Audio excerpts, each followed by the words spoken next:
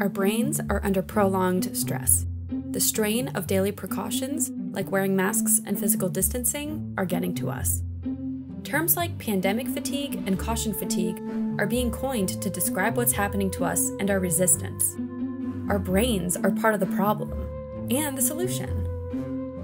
For example, if we're walking through the woods and see something out of the corner of our eye that resembles a snake, we can have a fear response before we even process what we've seen. A, a, reflex of the brain involving the amygdala and the hippocampus. And then that information is processed by higher parts of our brain called the cerebral cortex, which will actually register whether or not there's a snake. And if it is a snake, is it poisonous? But the brain causes a very quick fight or flight response, which is, is very useful when trying not to die on a daily basis. Our brain is designed to keep us safe from imminent danger, but it's also good at de escalating that fear. The brain has the capacity to overcome the reaction to danger. It's good that the brain does this.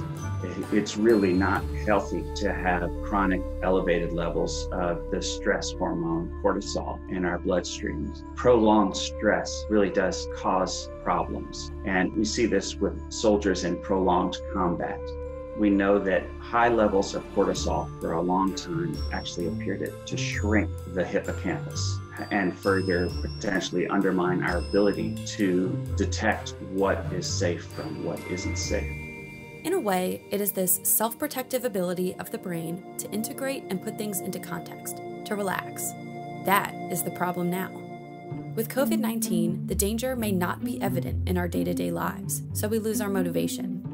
We get lazy as we had the experience of I went to the store a couple of weeks ago and I'm still not sick. So we developed this false sense of security in situations where we should be still vigilant.